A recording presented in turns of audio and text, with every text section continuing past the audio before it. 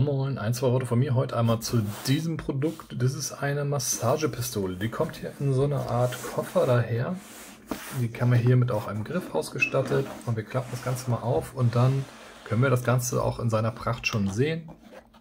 Hier ist einmal das Ladekabel versteckt und das ist im Prinzip diese wunderbare Pistole. Wir nehmen die einfach mal raus, kommt hier mit unterschiedlichen Aufsätzen. Wir schnappen uns einfach mal willkürlich einen und stecken den hier drauf.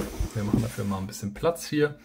Das Ganze funktioniert ganz simpel. Hier ist eine Öffnung. Das Ganze wird hier leicht reingedreht und wir merken auch, dass der Widerstand dann das Ganze aufnimmt.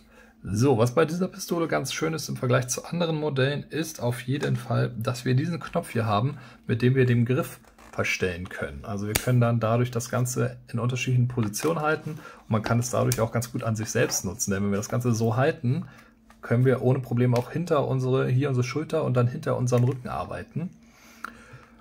Funktioniert das Ganze hier unten. Wir schalten das Ganze einfach ein, werden hier begrüßt mit diesem grünen Leuchten und können dann hier in dem Rad die unterschiedliche Stärke auswählen. Wir sehen das hier schon ganz gut, denke ich. Das ist die niedrigste Stufe.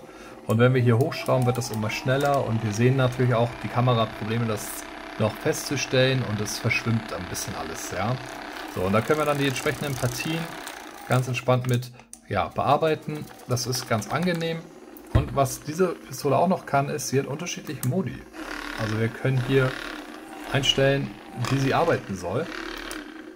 Und uns so das raussuchen, was für uns angenehm ist. Wir haben so eine steigende Möglichkeit.